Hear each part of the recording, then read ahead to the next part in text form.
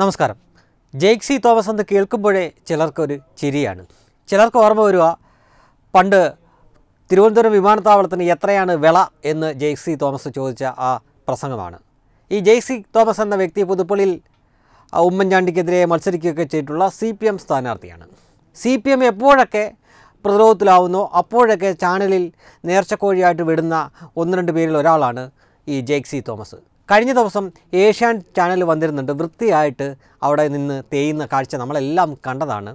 സാധാരണഗതിയിൽ ഇടതുപക്ഷത്തിനെ സപ്പോർട്ട് ചെയ്ത് സംസാരിക്കാറുള്ള അബ്ജോദ് വർഗീസിന് പോലും ഇത്രയൊക്കെ പറയേണ്ടി വന്നുവെങ്കിൽ ഈ സർക്കാർ എത്രമാത്രം വലിയ കൊള്ളയാണ് നടത്തിയിരിക്കുന്നത് എന്ന് നിങ്ങളൊന്ന് ഓർത്തു നോക്കുക ഇനി ആ ജെയ്ക്സി തോമസിന്റെ ആ ചേഷ്ടകൾ ഒന്ന് കാണേണ്ടതല്ലേ? ദാ കണ്ടു നോക്ക്. അങ്ങനെ പറയരുത്. അങ്ങനെ നിലനിൽക്കുന്നത് നമുക്ക് ഇവിടെ നിലനിൽക്കുന്നതെന്ന് ജയിക്ക് പറയുമ്പോൾ പറയുന്നത് കേട്ടാൽ തോന്നും. കേരളത്തിൽ വളരെ അങ്ങേയറ്റം മുന്തിയ തരത്തിലുള്ള കോവിഡ് പ്രതിരോധ സംവിധാനമായിരുന്നു. ഇന്ത്യയിൽ ഏറ്റവും കൂടുതൽ ആളുകൾ മരിച്ച രണ്ടാമത്തെ സംസ്ഥാനമാണ് മൂന്നര കോടി ജനങ്ങൾ ജീവിക്കുന്ന കേരളമെന്ന് ജയിക്ക് മറക്കരുത്. ഏറ്റവും കൂടുതൽ ആളുകൾ മരിച്ചത് മഹാരാഷ്ട്രയിലാണ്. അവിടുത്തെ ജനസംഖ്യ പന്ത്രണ്ട് കോടിയാണ്. ആ നിലയിൽ ഇവിടെ ഒരു പന്ത്രണ്ട് കോടി ജനസംഖ്യ ഉണ്ടായിരുന്നെങ്കിൽ നിങ്ങൾ നോക്കിയ കോടി ആളുകളെങ്കിലും മരിച്ചേനെ. ഈ മരണസംഖ്യ. കണക്ക് നിങ്ങൾ എപ്പോഴാണ് ഉൾപ്പെടുത്തിയത് ജയിക്ക്. ഈ മരണസംഖ്യ നിങ്ങൾ എപ്പോഴാണ് കരാറുറപ്പുണ്ടോ? ഉൾപ്പെടുത്തിയത് മരണസംഖ്യ കുറച്ചു വെച്ചതും പിന്നീട് സുപ്രീം ഹൈലൈറ്റ്- കോടതി കണ്ണൂരുകയും highest നഷ്ടപരിഹാരത്തിന്റെ കേസ് വരികയും ചെയ്തപ്പോൾ എത്ര മരണങ്ങളാണ് കൂടുതലായി ഇതിലേക്ക് വർദ്ധിപ്പിച്ചത്?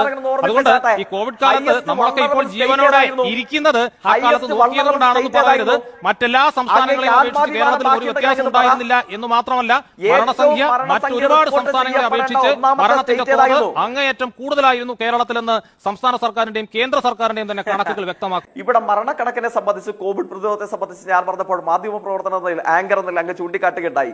കേരളത്തിന്റെ കോവിഡ് പ്രതിരോധത്തെ സംബന്ധിച്ച് അങ്ങനെ വാഴ്ത്തിപ്പാടാനൊന്നുമില്ല. ഇന്ത്യയിൽ രണ്ടാമത്തെ മരണക്കണക്ക് റിപ്പോർട്ട് ചെയ്യപ്പെട്ട സ്റ്റേറ്റ് അത് കേരളമാണ്.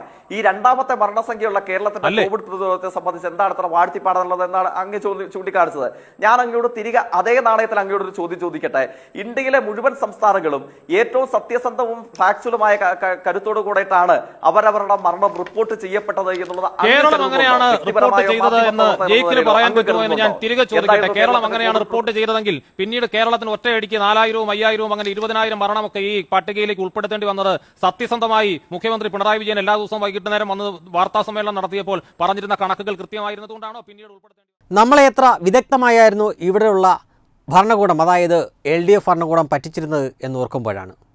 കോവിഡ് സമയത്ത് അവർ പി ആർ വർക്ക് വർക്കിലൂടെ തള്ളി മറിച്ചിരുന്നത് ലോകത്തെ ഏറ്റവും മികച്ച രീതിയിൽ കോവിഡിനെ പ്രതിരോ പ്രതിരോധിച്ചുകൊണ്ടിരുന്നത് കേരള സർക്കാരായിരുന്നു. എന്നാൽ യാഥാർത്ഥ്യമോ? ഇന്ത്യയിൽ തന്നെ ഏറ്റവും കൂടുതൽ ആളുകൾ മരിച്ചത് മഹാരാഷ്ട്രയിലാണെങ്കിൽ രണ്ടാം സ്ഥാനത്ത് കേരളമാണ്. അതിൽ തന്നെ ഇനിയുള്ള ഇനി പറയാൻ പോകുന്നതാണ് ഏറ്റവും ദുരന്തവും ദയനീയവുമായിട്ടുള്ള കാര്യം.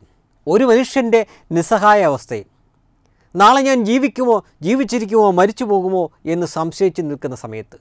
ഒരു മനുഷ്യന്റെ ദുരന്ത സമയത്ത്.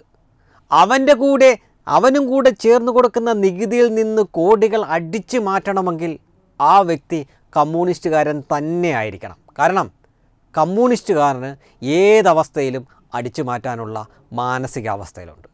മാനുഷിക വിരുദ്ധരാണ്. അല്ലെങ്കിൽ ഒന്ന് ഓർത്തു നോക്കുക.